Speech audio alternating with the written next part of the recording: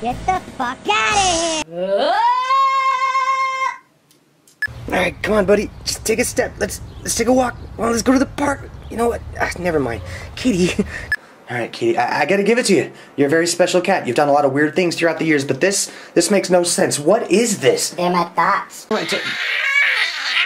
Random kitty. That is not necessary. Happy birthday to me. Yeah, let's go. okay. Come on, kitty. Welcome to the great outdoors, Gibby son. Oh. Open cans without no thumbs. Okay, so there's no such thing as October, Okay. and no month has 38 days in it, right? Yeah. Holy shit! Wow.